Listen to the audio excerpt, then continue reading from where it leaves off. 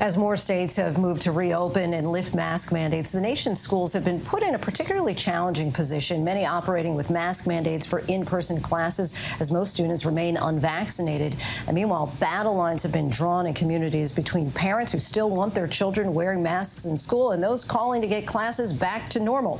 ABC's Faith Abubey has this story. Like many parents across the country, Amy and Brandon Stafford struggled with the decision to send their children back for in person learning in the middle of a global health pandemic. Brandon Stafford suffers a condition that puts him at a high risk for the coronavirus, and they feared the kids could bring the virus back home. Hands down, that was the absolute most difficult decision that my husband and I ever had to make. But the Texas parents quickly devised ways to make it work, finding some comfort in a mandate that required students at their kids' school to mask up. But the sense of safety they felt came crashing down on March 2nd. I am ending the statewide mask mandate. Texas Governor Greg Abbott's new order, meaning across the state, schools were no longer required to keep their mask mandate in place, many immediately abandoning or relaxing their stance. We were ready to pull our youngest out, despite his special needs, and which would have been absolutely detrimental to his education. But we were put in a very difficult choice of either my husband's health or my son's education. Zeph Capo is the president of the Texas chapter of the American Federation of Teachers. There was a significant level of fear and concern for uh, students, but for the employees in particular that we represent. Texas isn't alone. Like the Lone Star State, 13 other states across the country have now lifted their mask mandates. As pressure to return to normal builds, vaccines become widely available and COVID cases drop in many states. But with the pandemic still not over, the decision has pit some communities against each other. Less than 10% of COVID 19 cases in the United States have been among children and adolescents aged 5 to 17 years. Based on the average number of people we meet throughout our lives, that's about four to five people at this point in your life you're willing to sacrifice so that kids don't have to wear masks in schools. Parents should be given the right to choose, just as our governor has given all of us the right to choose. Parents on both sides of the issue against school administrators and tensions boiling over during school board meetings. It's April 15th, 2021, and it's time. Take these masks off of my child. In some states, schools within the same county making opposite decisions after governors eased their restrictions. One keeping masks in place, the other lifting the restrictions. This virus doesn't consider district lines. Uh, and it doesn't make any sense when you're looking at it from an epidemiological or medical standpoint that you would allow individual districts uh, many cases where where a street could be dividing the decision on whether kids and staff wear masks or not. Um, you know, that's just not a way to make public policy.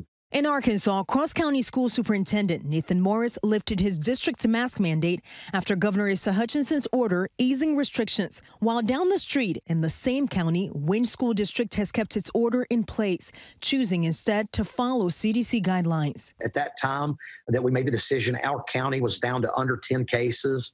Uh, and uh, 10 positives in the whole county. Um, we had none in the school.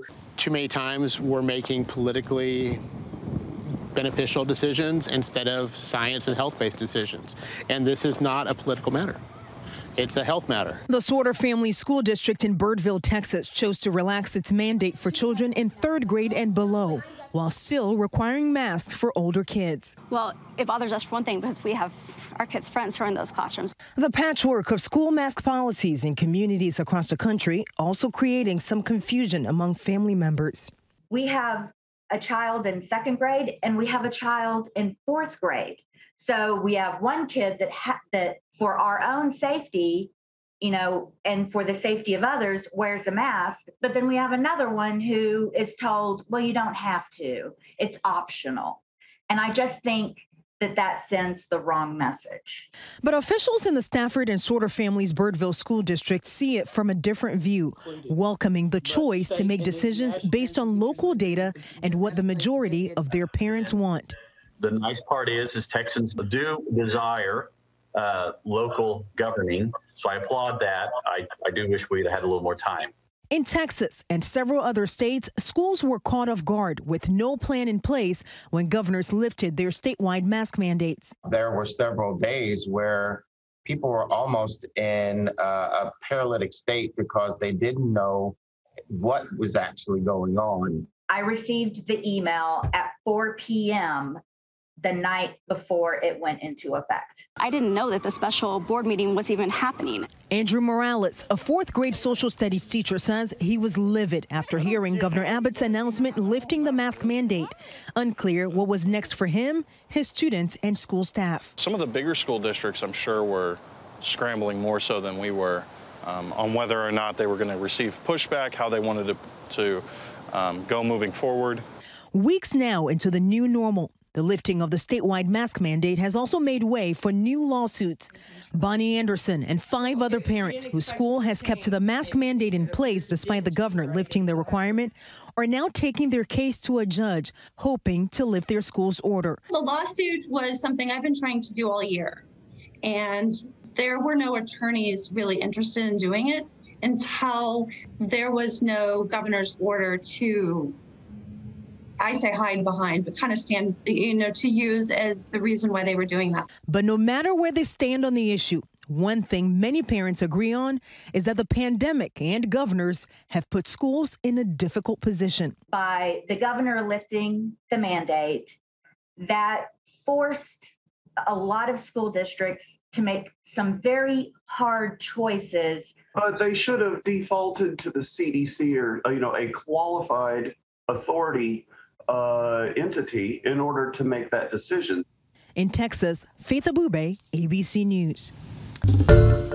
Hi, everyone. George Stephanopoulos here. Thanks for checking out the ABC News YouTube channel. If you'd like to get more videos, show highlights, and watch live event coverage, click on the right over here to subscribe to our channel. And don't forget to download the ABC News app for breaking news alerts. Thanks for watching.